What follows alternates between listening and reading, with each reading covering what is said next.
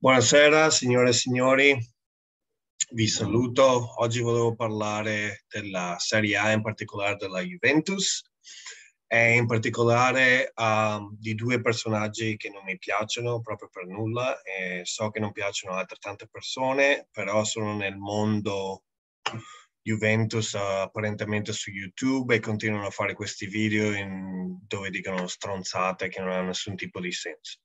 I personaggi in questione sono tal Luca Toselli e un altro personaggio il cui nome è Max Montaina o uh, Montaina, non, non, so come si dice, non penso cambi più di tanto. In ogni caso, se seguite, se seguite dei video su YouTube uh, sulla Juventus, solitamente sono quelli che hanno sempre qualcosa da dire al riguardo. Dunque, il primo personaggio, Luca Toselli, mese, due, tre mesi, quattro, cinque mesi fa, non so quando. Incontra i personaggi, va in trasferta con loro, stringe la mano, tutti i selfie. Bellissimo, storia della mia vita, oh my god, questo e quello. Poi tutto in un tratto, perché adesso tutte le cose stanno andando male, niente non funziona, oh ma non si può, sta continuando troppo tempo, bla bla bla, bla. stai zitto perché non sai di che cazzo parli. L'altro personaggio continua a fare pagelle, pagelle, in cui dice, ah, non mi piace questo giocatore, zero. Ah, non ha giocato bene, due. Chi cazzo fa queste stronzate? Cioè, nel senso, se hai un minimo di idea di cosa significa, non puoi dare due o zero o uno, cioè non sono voti che si possono dare. Se uno fa male, dai 4, se uno fa bene, molto bene, dai 8, così uno si fa ancora la media 4 più 8, ok? Diviso 2, 12, diventa un 6, passa. Se gli dai un 1-0, in, includi tutto l'anno praticamente. Se sei un professore non, non dai nessun 1-0, gli dai un 4 e dici torna al prossimo esame e farai meglio. Beh, in ogni caso parliamo un po' di uh, alcune delle stronzate che uh, questo Max uh, dice, ok? Allora, uh, prima di tutti Morata, Morata, ok? Morata fa schifo, bla bla bla bla bla bla, ok, Morata fa schifo. Questi sono i numeri. Morata, 154 presenze, 51 gol, 22 assist. Uh, il che vuol dire che praticamente fa un gol ogni tre partite di media. Un gol ogni tre partite di media. Le 154 presenze sono 154 presenze nel senso che se il giocatore ha giocato anche un minuto, anche se è entrato nell'ultimo minuto, è, un, è conta una presenza. Ok? Bene. Uh, con questa media, 154 presenze ufficiali, 51 gol, praticamente vuol dire che fa un gol ogni tre partite. Ok? Non, non stiamo contando i minuti, stiamo contando le partite un gol ogni tre partite. Dunque con questa media, calcolando 38 partite a stagione, dovrebbe fare più o meno tra i 12 e i 13 gol quest'anno, di media. Mm, non è detto che ne faccia più, non è detto che ne faccia meno, però i numeri basati su 154 presenze tra Serie A, Champions, Coppa Italia Supercoppa, 51 gol. Dunque è la media. Dunque ci aspettiamo che faccia dai 12 ai 13 gol, né più né meno. Se ne fa di più bene, se ne fa meno, ok, non cambia niente. Però penso che dopo 154 presenze uno possa più o meno, insomma, se segue un po' le statistiche, potrebbe anche crederci, dice ok, 12-13 gol stagione, benissimo. Okay. Adesso un'altra persona che sempre questo personaggio piace dire brutte cose a riguardo. Paolo Di Bala. Paolo Di Bala, 266 presenze, 102 gol, 39 assist. Dunque la media è di praticamente 4 gol ogni 10 partite. 4 gol ogni 10 partite. Ok? Dunque, basato su questa media, si gioca tutte le partite, diciamo tutte le 38 partite, che già si sa non fa perché ne ha già perse, ok. Però basato su 38 partite e, e la media dovrebbe fare più o meno 15 gol in Serie A quest'anno, 15 gol di media. Ovviamente cambiando il numero di partite che gioca, il minutaggio e tutto quanto, magari ne fa di più, magari ne fa di meno, non lo so. Ok, adesso guardiamo uno dei centravanti che tutti quanti, oh ma grandissimo, perché è andato via, non capisco, questo e quello. Ok, uh, Gonzalo Higuain. Gonzalo Higuain, detto Pipita o Pipa, presenze ufficiali 149, gol 66. Dunque questa è una media di 4 gol e mezzo ogni 10 partite. Ok? Dunque praticamente ha un, un gol in più per 10 partite rispetto a Morata e più o meno la stessa media di gol di uh, Paolo Di Bala. Però se vogliamo talmente interessarci a vedere le statistiche come sono, allora guardate quanti minuti ha giocato Morata e Di Bala in totale e guardate quanti minuti ha giocato Higuain. Se uh, fate il rapporto tra i minuti giocati e i gol fatti, Di Bala e Morata hanno segnato molto di più di Higuain. E uh, per esempio Higuain so che è costato 90 milioni, ha giocato alcune stagioni in cui ha fatto bene, alcune stagioni in cui non ha fatto molto bene, e però so che il suo ingaggio era molto più alto di quello che prende Morata e, e oltretutto più alto di quello che prende Di Pala adesso. Dunque, ok, lasciamo perdere. Poi parliamo di qualcos'altro che questi due personaggi a cui piace parlare. Allora, da quando è tornato Max Allegri a fare l'allenatore, uh, io non sono mai stato una persona in cui l'ha supportato perché non ho mai capito le sue tattiche, perché penso che alla fine non usi nessun tipo di tattica. Però, da quello che ho capito, uh, Allegri è stato voluto dalla società. Prima è stato licenziato perché non, nessuno piaceva il gioco che faceva, volevano cambiare allenatore, vabbè. Hanno pagato per andare via e adesso lo pagano più di quello che lo pagavano prima per tornare e per fare una figura di merda praticamente. Ok. In ogni caso, se prendiamo le 14 partite in Serie A che hanno fatto quest'anno, hanno 21 punti diviso per 14 partite, vuol dire che la media punti è un punto e mezzo per partita. Se calcoliamo 38 partite, vuol dire che la Juventus con questa media, se continuano con questa media, che può migliorare, può peggiorare, però se continuano con questa media faranno più o meno 60 punti. Ok, um, Allegri oggi parlava, eh, ma è la differenza reti che conta questo e quello. Un cazzo vero, perché uh, se guardiamo anche per esempio i risultati di Serie A degli ultimi cinque anni, uh, vediamo per esempio stagione 2018-2019, differenza gol, ok? Perfetto. Uh, è, è stato l'ultimo, no, non è stato l'ultimo campionato che la Juve ha vinto, è stato il penultimo, però vediamo per esempio la differenza gol, ok? Dunque, um, partiamo dalla classifica, ok? Bologna, differenza gol meno 8, decimi in classifica. Ok, differenza gol significa, penso che tutti lo sanno, però tanto così per mettere tutto in chiaro.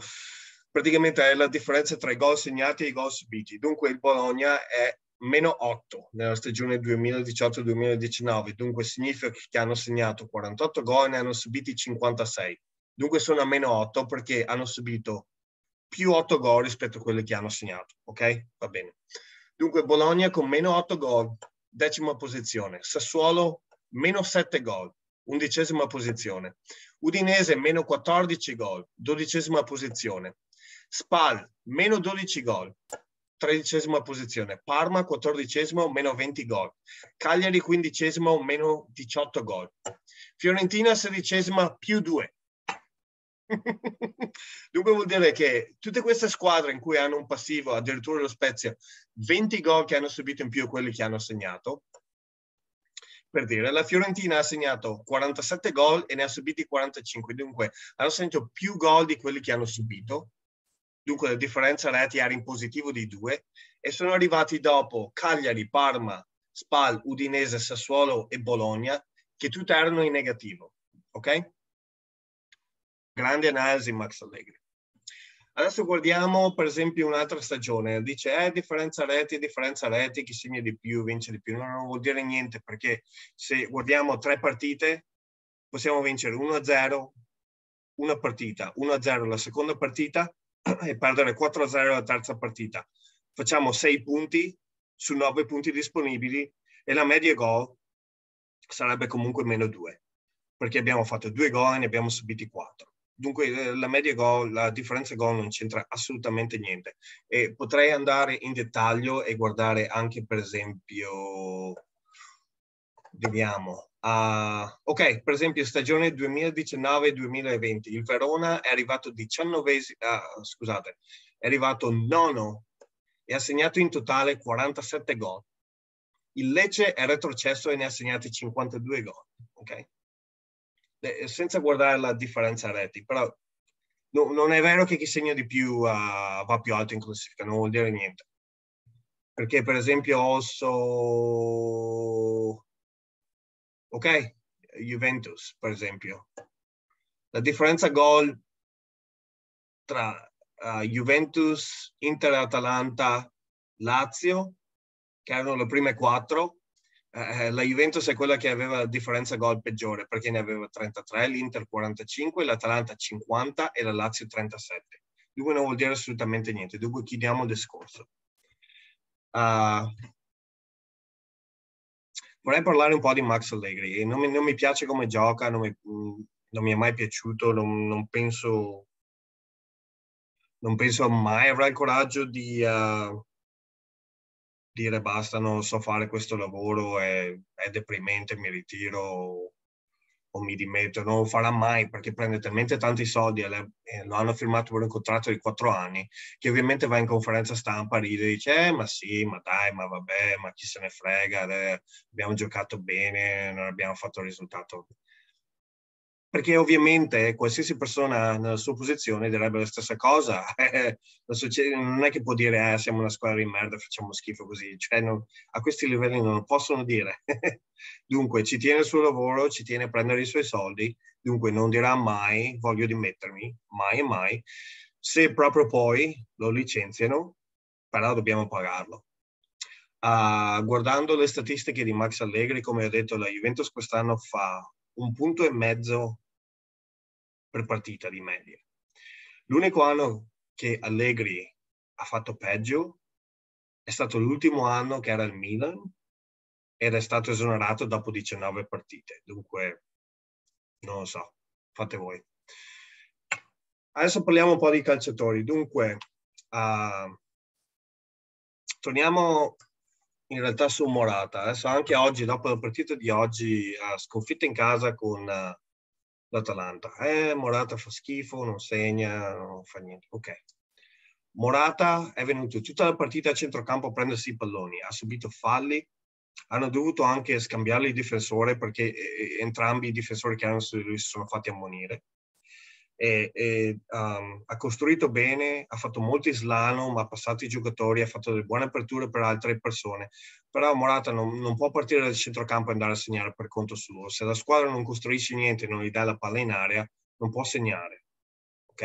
E questo vale per tutti gli attaccanti perché anche Di Bala sta facendo la stessa cosa, viene al centrocampo, si prende la palla, si aspetta che qualcuno tipo McKenny o, o, Chiesa, che sono quelli veloci che giocano, che hanno giocato più sulle fasce o che insomma si sa che fanno questi tagli, che si smarchino in qualche modo e riescano a prendere il pallone. È successo una volta, McKenny era davanti al portiere, è un passaggio filtrante di Bonucci, però basta, quello, quello è stato l'unico taglio, l'unica praticamente cosa decente che ha fatto tutta la partita. Prima di infortunarsi, eh, gli auguriamo il meglio a lui e anche a Chiesa che sappiamo che è infortunato. Però uh, anche adesso si sente tanto parlare, eh, Locatelli, giocatore eccezionale, qua là. Locatelli, statistiche, quest'anno, 14 partite, ha giocato praticamente, eh, l'unica persona che ha giocato più minuti penso sia Bonucci, anche se ha solo 12 presenze. Locatelli, due gol, ok? Uno anche abbastanza determinante nel derby, okay? un assist in 14 partite. Cioè, questo qua è stato pagato, eh, insomma, un bel po' di soldi per fare playmaker. E questo qua viene fuori che è peggio di tutti quanti quelli che avevamo prima. Dunque non ha nessun senso chiamarlo campione, non ha nessun senso dire eh, Locatelli è sempre Locatelli non sta facendo un cazzo perché se guardate le statistiche eh, apparentemente eh, ci sono, cioè uno può andare a guardare sulla Serie A, eh, ci sono tutte le statistiche e qualsiasi altra pagina e uno si può anche leggere, insomma. Locatelli non sta giocando bene e, non è il migliore giocatore che abbiamo anche in questo tipo di ruolo, perché alla fine il giocatore che abbiamo di meglio in questo ruolo, in base alle statistiche, sarebbe praticamente Bentancur. Ha più passaggi chiave, ha più passaggi completati, uh, corre di più, ha, ha più interventi successivi, uh, dunque è meglio. Dunque già per dire che in Bentancur è meglio di Locatelli è già dire qualcosa che è fuori luogo. Però eh, guardando le statistiche questa è la verità. Adesso guardiamo un'altra cosa, tipo una statistica in base, per esempio, a uh, marcatori. Marcatori, uh, top dei marcatori, Leonardo Bonucci, tre gol, di cui due su rigore. Uh, il secondo è Dybala, tre gol in dieci partite, però ha avuto anche tre assist. Eh, dopodiché praticamente c'è il nulla finché arriviamo a Moise Ken. Moise, due gol in 285 minuti. Sembra abbastanza buono, non capisco perché non giochi titolare, però insomma va bene. Eh, non voglio neanche andare in merito alle altre statistiche, ma anche Federico Chiesa. Federico Chiesa, un gol, un assist in uh, quanti minuti? 802 minuti, 12 presenti. Eh, praticamente niente altro, uh, quadrato due gol, delle, un gol, Morata due gol. cioè, non lo so, uh, praticamente niente altro, niente altro, niente da notare. Uh, se guardiamo altre statistiche, come la gente si chiedeva prima, eh, ma qua, ma là, Locatelli è grandioso. Ok, guardiamo i passaggi chiave. Passaggi chiave significa un passaggio che è stato effettuato uh, da un giocatore in cui la palla è arrivata a un altro giocatore della stessa squadra e hanno fatto un tiro, però non hanno segnato. Dunque vuol dire che o è stato parato o è andato fuori uh, per poco qualcosa. Comunque un, un, un tiro uh, verso la porta. Uh, numero uno quadrado, 19. Numero due di Bala, 16. Uh, numero 3 Morata 15, numero 4 Alexandro 14, numero 5 Chiesa 13 e continuando McKenny 10, Bonucci 7, Bentancur 5, Mattia De Sciglio, Locatelli ne ha solo 4, ok? Dunque non è neanche il peggiore, ma non è neanche il migliore. Dunque non, non, parliamo di Locatelli fenomeno, Locatelli fa cagare il cazzo, non gioca neanche in nazionale, gioca solo se Barella o, o Giorginio o Verratti non possono giocare. Dunque Locatelli giocatore promette bene per il futuro, ma non si può neanche pretendere aspettare troppo da lui. Poi un'altra cosa, adesso tutti parlano, eh ma la società non sta andando bene, adesso sono tutti indagati e la società sta andando in fallimento, la società non, non fallisce, nessuno di questi personaggi andrà in galera e, e, se la società fallisce la ricavano e la Juventus torna, cioè non, non succede niente praticamente. Però una cosa che devo dire a tante persone che mi hanno criticato, ho detto specificamente una cosa, comprate azioni Juventus adesso. E il motivo per cui uno dovrebbe investire in queste azioni è perché se uno guarda la borsa e guarda il rendimento della Juventus in borsa negli ultimi 15 anni, uno può capire che uh, nell'ultima settimana uh, queste azioni sono andate in basso del uh, 33% praticamente. Dunque cosa significa? Che sono arrivate a un prezzo di al momento 50 57 centesimi, arrotoniamo, 57 centesimi, ok? Dunque cosa vuol dire? Eh, la persona intelligente investe e compra adesso, perché nel giro di due o tre mesi, quando la squadra si sistema o risolvono queste faccende, le azioni vanno su. Adesso tutti vogliono vendere, dunque è il momento di comprare. nel momento in cui la gente vorrà comprare, diventa il momento di vendere. Vi do un piccolo esempio. Lunedì 23 marzo 2020, investito 50.000 euro in azioni della Juventus a 52 centesimi. Rivendute venerdì 24 luglio 2020 a 76 centesimi, che oltretutto non era neanche il picco perché mi sono preso tardi. Uh, saldo finale positivo, senza tasse, niente, quello a parte. 23.000 euro e 76 centesimi. Ok? Dunque, vabbè, non so, uh, non... l'unico consiglio che posso dare è investite se dovete investire in squadre sportive, perché è molto molto facile capire il trend in borsa di una squadra sportiva. Se la squadra fa schifo, vendono tutti. Eh, la squadra sta facendo male, le azioni vanno a ribasso. Compra, perché quando Manchester United va giù, quando Real Madrid va giù, quando Lazio, Roma, tutte queste società che sono quotate vanno giù, è il momento di comprare, perché ovviamente non, sono squadre buone che non vanno male per tanto tempo. Dunque non sono investimenti a lungo termine, sono investimenti a corto termine, però se uno è intelligente si compra un po' di questo, un po' di quello, quando le cose vanno male, si aspettano un mese, due, tre, quando è il momento opportuno le vendi e ti fai i soldi. Dunque, vabbè, no, non c'è niente di più semplice di investire in uh, squadre sportive che sono in borsa. Uh, Manchester United era giù perché faceva male. Il giorno che hanno comprato Ronaldo, boom, boom, boom, su, vendi, vendi, vendi, vendi. Dunque, neanche non c'entra, questo, questo, è un discorso di investimenti, non è assolutamente, non ha niente da fare. Se ti piace una squadra o non ti piace una squadra, non c'entra niente, vi dico. Investi Juventus, a questo momento, lunedì mattina, decidi un prezzo a cui vuoi comprare, decidi quanto vuoi comprare. Se compri 100 euro non ci fai niente, devi investire almeno 10.000, 20.000, secondo me, uh, se uno può. E ti fai i soldi, se non ti vuoi fare i soldi non te li fai, però gente che va a criticare, eh ma qua, ma no, perché non vogliamo, perché non crediamo nella società ma chi cazzo se ne frega? Cioè, nel senso, la società va bene, va male, cosa te ne frega?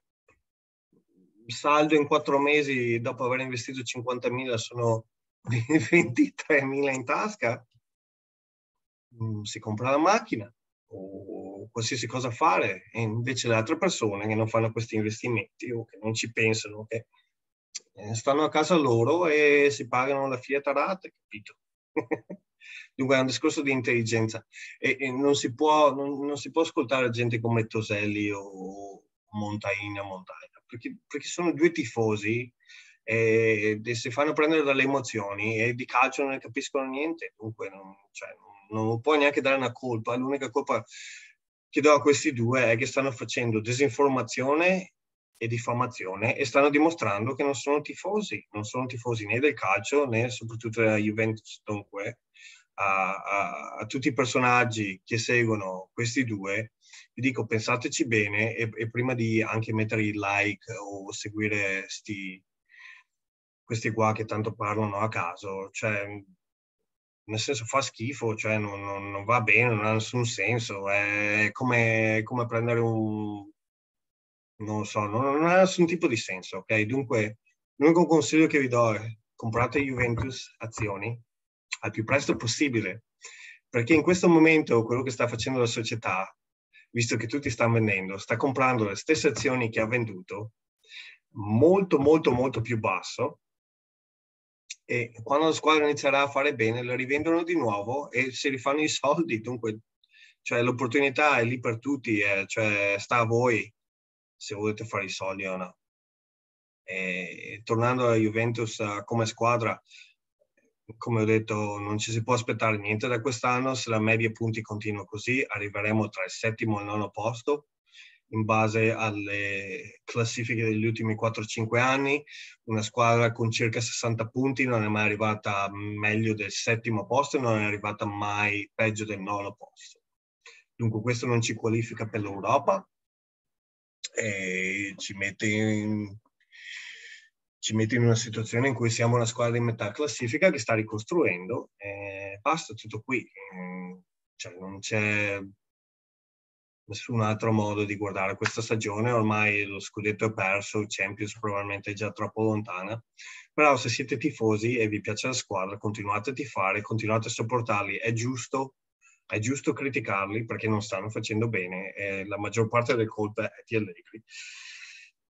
Però allo stesso tempo, cioè, uh, anche lui non è che in squadra abbia tutti questi giocatori, soprattutto a centrocampo Uh, e oltretutto la difesa sta anche facendo bene e l'attacco fa anche bene, però se vedete come si passano il pallone, stanno sempre a cercare di uh, evitare il centrocampo, perché il centrocampo non è buono né da filtro in difesa, non è buono in costruzione, non è buono in niente. Dunque, quello che vediamo sostanzialmente è Bonucci eh, lanciare la palla e, e sparare che un attaccante la prende e basta. Dunque queste tattiche di gioco magari andavano bene, che ne so, 20-30 anni fa, però adesso non vanno bene.